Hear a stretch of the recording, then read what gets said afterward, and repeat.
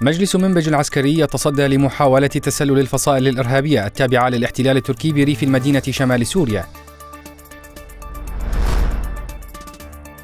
الاحتلال التركي يجهز عناصر من الفصائل الإرهابية التابعة له بشمال سوريا لإرسالهم إلى نيجيريا للقتال كمرتزقة.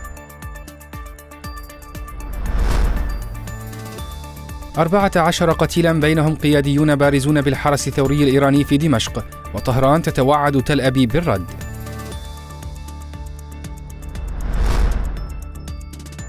مقتل سبعة عمال بمنظمة إغاثية بينهم مواطنون من أستراليا وبريطانيا وبولندا جراء غارة إسرائيلية وسط قطاع غزة. مصادر مطلعة على محادثات القاهرة تكشف عن مقترح لفتح ممرات آمنة لعودة النازحين إلى شمال غزة.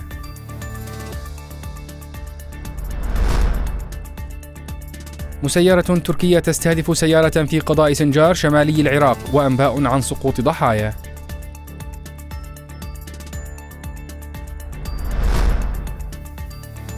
النظام التركي يجرد مرشح حزب المساواة وديمقراطية الشعوب في مدينة وان من حقه باستلام منصب رئاسة البلدية.